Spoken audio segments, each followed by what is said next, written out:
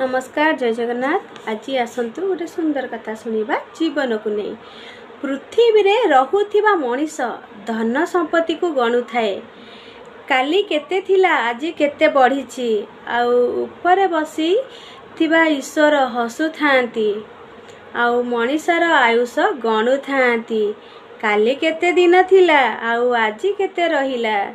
ଲୋଭରୁ ଦୂରେଇ ରୁହନ୍ତୁ ସମାଜରେ ଭଲ କାମ କରନ୍ତୁ। ଜୀବନ ପଚାରିଲା ସ୍ୱପ୍ନ କେମିତିକା ହୋଇଥାଏ? ସତ ଉତ୍ତର ଦେଲା ଆଖି ବନ୍ଦ କଲେ ଯାହା ନିଜର ଲାଗିଥାଏ ତାହା ସ୍ୱପ୍ନ ହୋଇଥାଏ। ଯେଉଁ ଘରେ ନାରୀମାନେ ସର୍ବଦା ମନ ଦୁଃଖରେ ରୁହନ୍ତି ସେ ଘରେ ଲକ୍ଷ୍ମୀ ଛାଡ଼ିଯାଏ।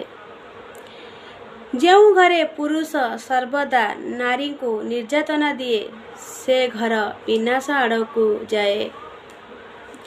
ଏ ରାଗ ରୁଷା ଅଭିମାନ ଈର୍ଷା ଏତେ କ'ଣ ପାଇଁ?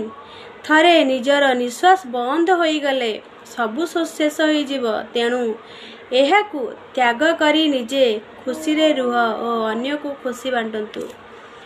ଆଜିର କଥାଟି ଭଲ ଲାଗିଲେ ମୋ ଚ୍ୟାନେଲକୁ ଲାଇକ୍ କରିବେ ସବସ୍କ୍ରାଇବ୍ କରିବେ। ଜୟ ଜଗନ୍ନାଥ।